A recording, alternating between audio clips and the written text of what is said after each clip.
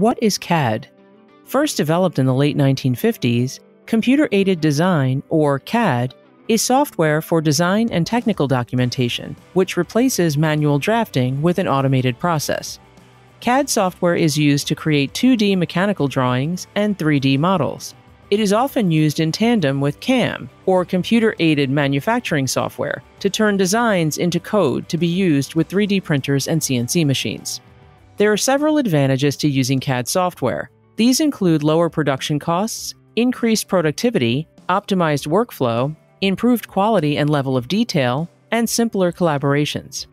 Newer CAD systems are cloud based, which can run advanced simulations with shorter render times, and with the help of AI, they can suggest optimal shapes to meet specific mechanical problems.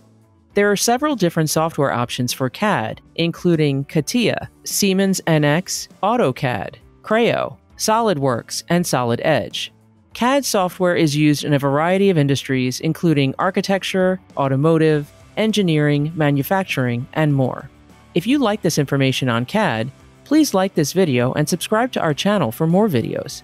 For general information about Radwell, visit us on the web at radwell.com or connect with us on social media. Thanks for watching!